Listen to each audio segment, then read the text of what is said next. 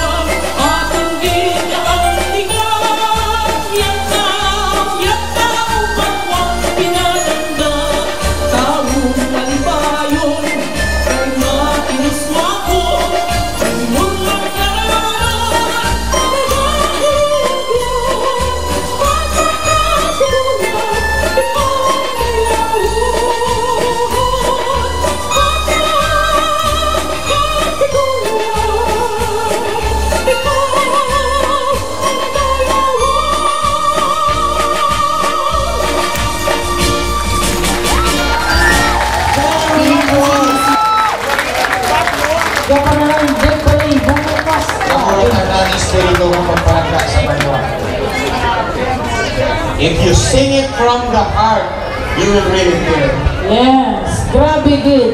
Nagakanta kayo na si Tigya. Grabe ka pa rin yung play mo. Bukas, Dahil Maribig, paano ba kita pasasalamatan?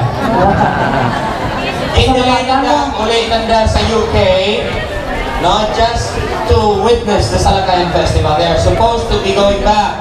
Salamat, Git, sa presensya.